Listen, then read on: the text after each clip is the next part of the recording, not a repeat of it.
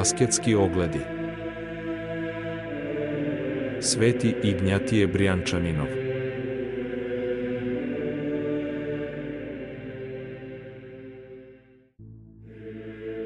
Pokajte se i verujte u evanđelje. Pokajte se jer se približilo carstvo nebesko. To su bile prve reči propovedi Bogo čoveka. Iste te reči on nam govori i sada posredstvom evanđelja. Kada je greh najviše ojačao u svetu, u svet je sišao svesilni lekar. On je sišao u zemlju izgnanstva, u zemlju naše patnje i stradanja, koja prethode večnim mukama u adu, da blagovesti izbavljenje, radost, isceljenje svim ljudima bez izuzetka. Pokajte se. Sila pokajanja zasniva se na sili Božijoj. Lekar je svemoguć i lek koji on daje je svemoguć. Tada, u vreme svoje propovedi na zemlji, Gospod je pozivao na isceljenje sve koje su oboleli od greha i nikakav greh nije smatrao neisceljivim. I sada on nastavlja da poziva sve, da obećava i daruje oproštaj svakog greha, isceljenje svake duhovne nemoći. Skitnice zemaljske, o svi vi koji jurite ili se vučete po širokom putu uz neprekidni šum zemaljskih briga, zabava i veselja, pod sveću pomešanom sa bodljikavim trnjem, vi koji žurite tim putem prema kraju, koji je svima poznat i koji svi zaboravljate, mračnom grobu i još mračnijoj i strašnoj večnosti, zaustavite se. Otrgnite se iz zagrljaja sveta koji vas neprekidno drži u zarobljeništvu. Poslušajte ono što vam objavljuje Spasitelj, obratite potrebnu pažnju na njegove reči. Pokajte se i verujte u evanđelje, kaže vam on, pokajte se, jer se približilo carstvo nebesko. Krajnje vam je potrebno zemaljske lutalice da punu pažnju obratite na to suštinski korisno, spasonosno savjetovanje. Inače ćete stići do groba, stići do praga i vrata večnosti ne stekavši nikakvo pravilno shvatanje ni o večnosti, ni o dužnostima onoga koji stupa u nju, pripremivši za sebe u njoj jedino pravedne kazne za vaše grehe. Najteži od grehova je nepažnje prema rečima spasitelja, zanemarivanje spasitelja. Pokajte se, Lažljivi, obmanjivi put zemaljskog života za one koji ga počinju, on predstavlja beskonačno poprište ispunjeno stvarnošću, za one koji ga završavaju najkraći put ukrašen pustim snoviđenjima. Pokajte se! I slavu i bogatstvo i sva druga truležna sticanja i nadmoći za čije sticanje oslepljeni grešnik upotrebi sav svoj zemaljski život i sve snage duše i tela, on mora ostaviti u onim minutima u kojima se sa duše nasilno skida njena odežda, telo, i kada nevidljivi anđeli vode dušu na sud pravednog Boga, koga ona ne poznaje, koga je zanemarivala. Pokajte se! Ljudi se trude, žure da se obogate saznanjima, ali samo nevažnim saznanjima, pogodnim samo za privremeno, koja osposobljavaju za zadovoljavanje potreba, udobnosti i prohteva zemaljskog života – spoznaju i delo koji su nam suštinski potrebni, radi kojih nam je jedino i darovan naš zemaljski život. Spoznaju Boga i pomirenje sa njim posredstvom iskupitelja. Mi potpuno preziremo. Pokajte se. Braćo, zagledajmo se bez pristrasnosti, pri svetlosti evanđelja u naš zemaljski život. On je ništavan, Sva njegova dobra oduzimaju mu se smrću, a često i mnogo pre smrti raznim neočekivanim okolnostima. Te truleži su nedostojne kao dobra koja tako brzo nestaju da se nazivaju dobrima. One su pre obmane, mreže. Oni koji se zapetljaju te mreže i koji se njima sputaju lišavaju se istinitih, večnih, nebeskih, duhovnih dobara koja se dostižu verom u Hrista i sleđenjem njega na tajanstvenom putu evanđelskog života. Pokajte se. U kakvom smo mi strašnom slepilu? Kako to slepilo očigledno dokazuje naš pad? Mi vidimo smrt naše braće, znamo da i nama neizbežno i možda vrlo brzo ona sledi, zato što niko od ljudi nije ostao zaovek na zemlji. Mi vidimo kod mnogih i pre smrti da ih izda zemaljska sreća, da se ona često preokrene u nesreću, slično svakodnevnom okušanju smrti. Ne obazirući se na to toliko jasno svedočanstvo samog iskustva, mi jurimo prolazna blaga kao da su postojana, da su večna. Sva naša pažnja je okrenuta njima. Zaboravljen je Bog, zaboravljena je veličanstvena i ujedno grozna večnost. Pokajte se. Izdaće, braćo, neizbežno će nas izdati sva truležna blaga. Bogate će izdati njihovo bogatstvo, slavne njihova slava, mlade njihova mladost, mudrace njihova mudrost. Samo jedno večno, suštinsko blago čovek može sticati u vreme zemaljskog putovanja. Istinsko bogopoznanje, pomirenje i sjedinjenje sa Bogom koje je darovao Hristos.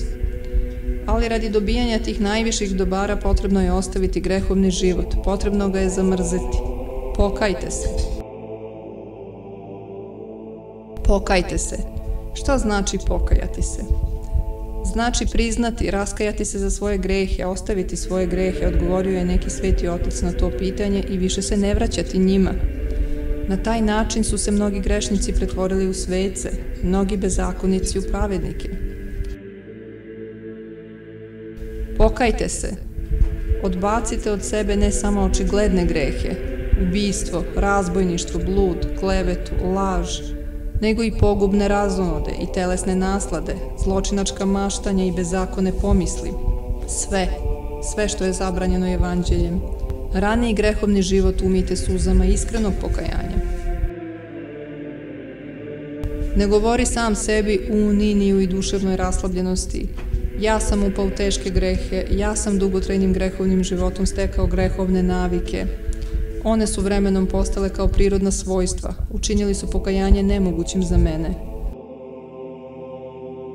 Te mračne misli ti sugeriše tvoj neprijatelj, kog još ne primećuješ i ne poimaš. On zna za mogućnost pokajanja. On se boji da te pokajanje ne istrgne iz njegove vlasti i trudi se da te odvuče od pokajanja, pripisujući Božjem svemogućem leku nemoć. Ustanovitelj pokajanja je tvoj tvorac, koji te je sazdao ni iz čega, još lakše, on te može presazdati, promeniti tvoje srce, načiniti srce bogoljubivo od srca greholjubivog, načiniti srce čisto, duhovno, sveto od srca čulnog, telesnog, zlonamernog, sladostrasnog. Braćo, poznajmo neizrecivu ljubav Božiju prema palom ljudskom rodu. Gospod se očovečio, kako bi kroz očovečenje omogućio sebi da primi na sebe kaznu koju su ljudi zaslužili i da kaznom sve svetog iskupi krivca od kazne. Šta ga je privuklo nama ovde u zemlju našeg izgnanstva? Naša pravednost? Ne. Njega je privuklo nama ono jadno stanje u koje nas je dovela naša ogrehovljenost.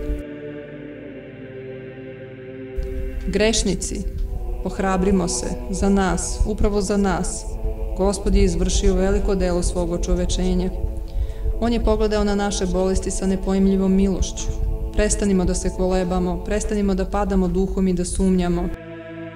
Ispunjeni verom, usrđem i blagodarnošću, pristupimo pokajanju, posredstvom njega ćemo se pomiriti sa Bogom. Ako li bi se bezbožnik obratio od svih greha svojih koje učini i držao bi sve uredbe moje i tvorio sud i pravdu, doista će živeti, neće poginuti. Bezakonja njegova što ih je god učinio neće mu se više spominjati, u pravdi svojoj koju čini živeće, Takvo obećanje daje Bog grešniku ustima svog velikog proroka. Odgovorimo prema našim slabim snagama na veliku ljubav gospoda prema nama, onako kako na ljubav stvoritelja mogu odgovoriti njegova stvorenja i to pala stvorenja. Pokajmo se. Pokajmo se ne samo ustima, posvedočimo naše pokajanje ne samo malobrojnim, kratkoročnim suzama, ne samo spoljašnjim učešćem na crkvenom bogosluženju, vršenjem crkvenih obreda čime su se zadovoljavali fariseji. Prinesimo pored suza i spoljašnje pobožnosti i plod dostojan pokajanja. Zamenimo grehovni život evanđelskim životom. Zašto da mrete dome Izrailjev? Zašto vi, hrišćani, ginete od vaših grehova večnom smrću? Zašto se vama puni ad kao da već u crkvi nije ustanovljeno svemoguće pokajanje? Taj beskonačno dobri dar dat je domu Izrailjevom, hrišćanima i u bilo koje vreme života kakvi god da su gresi.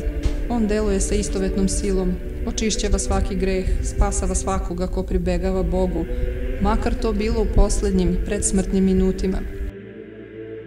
Zašto da mrete dome Izrailjev? Hrišćani konačno umiru večnom smrću zato što se sve vreme zemaljskog života bave samo narušavanjem zaveta krštenja, služenjem grehu. Oni ginu zato što ni najmanje pažnje ne udostojavaju reč Božiju koja im objavljuje pokajanje. U samim predsmrtnim minutima oni ne umeju da iskoriste svemoguću silu pokajanja, ne umeju da iskoriste zato što nisu dobili nikakvo saznanje o hrišćanstvu ili su dobili saznanje krajnje nedovoljno i nejasno koje se mora nazvati pre potpunim neznanjem nego nekakvim saznanjem. Tako bih ja živ, govori gospod.